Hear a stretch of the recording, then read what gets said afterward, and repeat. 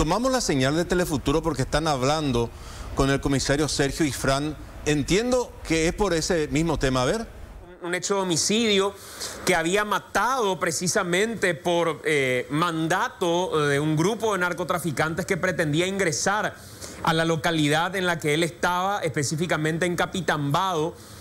Y a partir de ahí, ¿cómo contactan con él para este crimen en particular? ¿Qué es lo que ustedes tienen en línea de sospecha, comisario? Bueno, estamos manejando algunos datos que esta persona fue trasladado, ¿verdad? Trasladado de la ciudad de Pedro Juan hasta la ciudad de San Bernardino. Eh, San Bernardino. Es lo que estamos manejando eh, y ojalá te podamos demostrar todo eso para sostener eh, que es nuestro autor, ¿verdad? Quien lo trasladó es directamente Junior Peralta, el suboficial de policía.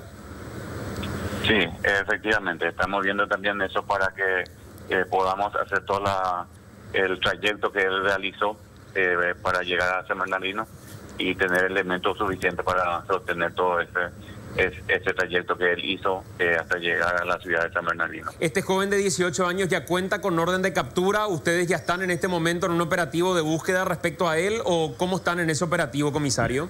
Tenemos equipo trabajando, pero eh, esta persona tiene orden de captura por otro hecho similar.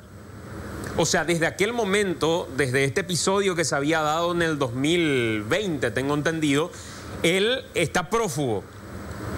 Efectivamente, así mismo.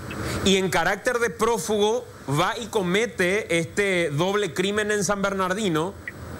Y bueno, eh, él por lo menos cuenta con hora de captura por ese hecho. Eh, y bueno, hizo todo ese trayecto y manejamos que pudo ser la persona que vino a realizar, entre comillas, este trabajo. Comisario, estaremos atentos ya seguramente mañana también a través de la lupa para mayor información con respecto a todo esto. Un abrazo y muchas gracias.